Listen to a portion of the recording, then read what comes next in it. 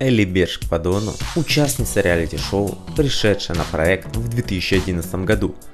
Она родилась зимой 1987 года в Санкт-Петербурге. Ее отец – афроамериканец по национальности. Девушка переехала вместе с родителями в Уфу, когда ей исполнилось 14 лет. Она хорошо училась и занималась легкой атлетикой но всегда мечтала стать популярной. И вот 2 сентября 2011 года Лебешек по Дону стала участницей телепроекта «Дом 2». Именно там она начала встречаться с Иваном Барзиком. Поклонники, девушки не понимали, что держит обаятельную танцовщицу рядом с агрессивным Иваном. иногда их скандалы доходили до рукоприкладства.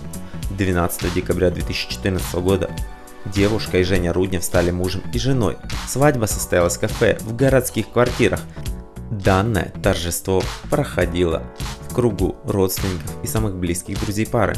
Кольца для молодых изготовили по индивидуальному заказу. Вместо традиционной фаты невеста надела цветочный венок. Затем влюбленные отправились на прогулку по Воробьевым горам после на праздничный банкет.